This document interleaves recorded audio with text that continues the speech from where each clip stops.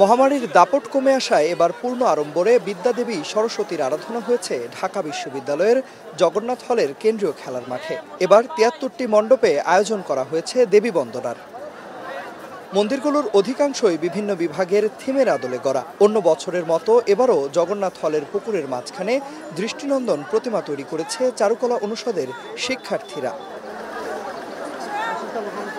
বেলা যত গড়িয়েছে, ততই বেড়েছে পুণ্যার্থীদের ভিড়। বিকেল গড়িয়ে সন্ধ্যা ঘনিয়ে আসার সাথে সাথে বর্ণিল আলোয় রঙিন হয়ে ওঠে প্রতিটি মন্দির। সার্পি আর পারগানের বাহারি আলো যেন উৎসবে যোগ করেছে ভিন্ন মাত্রা। এবার তো আমার ছেলের হাতে খড়ি হলো, তাই আমরা মানে ভগবানের কাছে প্রার্থনা করি যে আমার ছেলে যেন ভালোভাবে পড়াশোনা করতে পারে। তিন বছর পরে আসলাম খুবই ভালো লাগছে ফ্যামিলি নিয়ে আসছি ওর ফার্স্ট এখানে আসা আর কি। ভগবানের কাছে তো একটাই প্রার্থনা যেন সকলের বিদ্যা দেয় বুদ্ধি দেয় জ্ঞান দেয়। প্রতিটি মন্দিরে এবছর গড়ে খরচ হয়েছে চার থেকে পাঁচ লাখ টাকা যা আগে ছিল তিন থেকে সাড়ে তিন লাখ টাকা। মন্দির থেকে প্রতিমা তৈরি কিংবা প্রসাদ বানানোর ব্যয় বেড়েছে প্রায় দেড় থেকে দুই গুণ। এখন সাড়ে তিন লাখ বা চার লাখের কাছাকাছি এরকম আর কি। মানে আগের সব কিছু ঠিক আছে কিন্তু বাজেট বেড়ে গেছে। এক লাখ তিরিশ হাজার টাকা হচ্ছে মন্দির আর এলইডি হচ্ছে আপনার রাখছে ষাট হাজার টাকা। প্রায় দুই লাখের মধ্যে চলে যাচ্ছে। আর খাবার দাবার যে প্রসাদ প্রসাদের দামটাও বেড়ে গেছে। সব কিছুতেই খরচ অনেক বেশি। আমাদের হচ্ছে আমরা ফলের বাজারে গেলেও আমাদের হচ্ছে আগের থেকে around thirty thirty five percent হচ্ছে ইনফ্লেশন বেড়ে গেছে। সবকিছুর পরও এরকম আয়োজন করতে পেরে উচ্ছ্বসিত আয়োজকরা।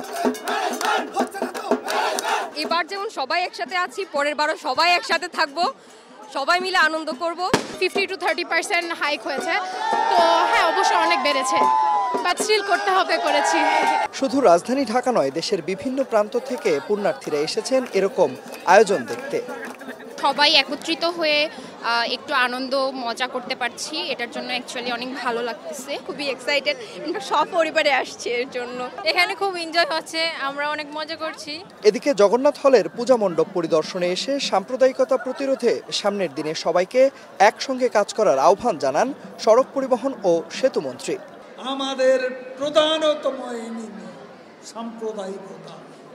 জঙ্গিবাদ সাম্প্রদায়িকতাকে রুখতে হবে।